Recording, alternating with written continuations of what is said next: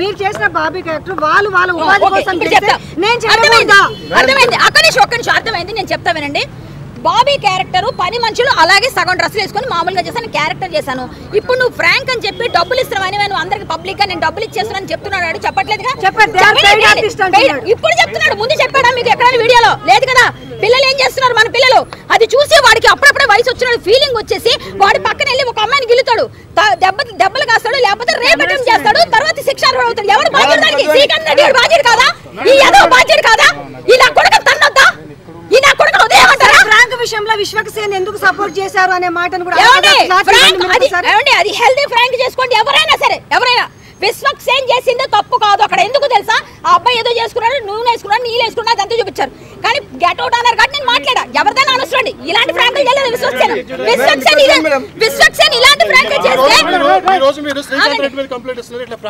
అందరూ మీద దివ్య అంటే ఎవరో అమ్మాయి. ఆ అమ్మాయిని ఫస్ట్ బగాలి ప్యాంట్లో చేతులు పెట్టండి ఆడదేనా అసలు అది? ఆడదేనా? ప్యాంట్లో ప్యాంట్లో చేతులు పెట్టి ఎక్కడెక్కడో ఏదో మాట్లాడే కత్తర పాప అంటది ఎవరితో గత్తర పాప? ఇది ఒకటి ఏంటండి వీళ్ళందరూ ఏం చేస్తారు సమాజంలో? ఒక్కొక్కరికి మామూలు మామూలుగా చెప్తున్నా. లేడీ అఖండ అనుకుంటారా? లెజెండ్ అంటారా? గడ్ గుడ్ మొదలు మొదలు నేను ఆల్రెడీ ఎప్పుడో మొదలు పెట్టా ఎప్పుడు అవుతుంది?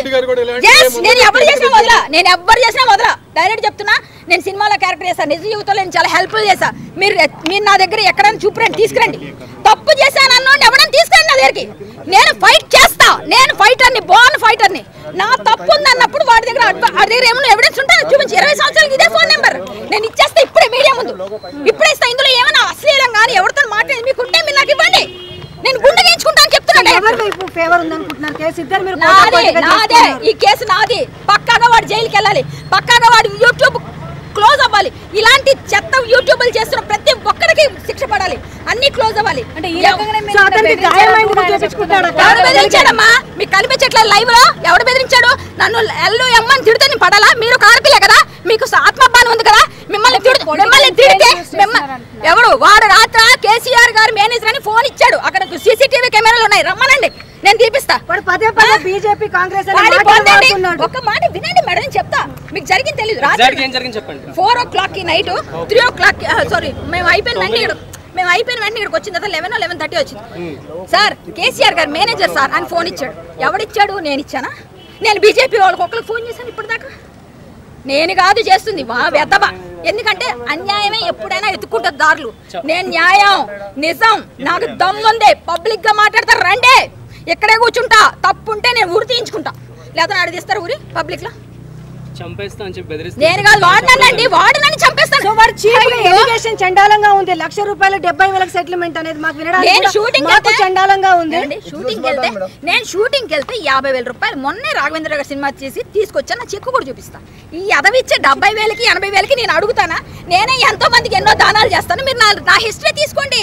నేను అడిగిన వాడికి తప్పించుకోవడానికి కారణం కావాలమ్మా. కరాటే కళ్యాణి ఏంటో? నా ట్రాన్సాక్షన్స్ నా ఫోన్ కళ్యాణ్ గారు అసలు నైట్ ఎందుకు వెళ్ళారు? ఇది డేలో ఎందుకు పెట్టుకోలేకపోయారు ఏమండి? సిచ్యువేషన్ ఏమైంది మా- అసలు? మా తమ్ముడు ఆ ఎదురుగా అపార్ట్మెంట్లో ఇల్లు కొనుక్కున్నాడు. హైదరాబాద్ హౌస్ పైన కొన్నాడు. నేను అక్కడికి వెళ్ళాను వాడి ఆపోజిట్ వీడి ఇల్లు. నాకు తెలియదు అమ్మాయి వచ్చింది ఆ విక్టిమ్ నాతో పాటు. ఆ అమ్మాయి చూపించి అక్క ఒకసారి వాడికి నా వీడియోలు తీసామని చెప్పా ఒకసారి మాట్లాడంటే వాడు మర్యాదగా మాట్లాడుతుంటే పైనుంచి ఆ ఏందే? ఇదా మాట్లాడే పద్ధతి నా కొడకని. శ్రీకాంత్ రెడ్డి గారా? అన్నాను నేను. వాడు మాట్లాడే పద్ధతి బాగాలేదు సార్ నువ్వు కిందకు వస్తావు? పైకి రావాలని అడిగా. అడిగితే ఏంది? వాళ్ళకి పదివేలు ఇచ్చా? నీకు ఎక్కువ ఇస్తా వస్తావా? నీకు కూడా చేస్తా ప్రాంక్ అంటే ఊరుకోవాలమ్మ నేను ఊరుకుంటావా? అలా అడిగితే ఊరుకుంటావా. నేను అదే చేశా.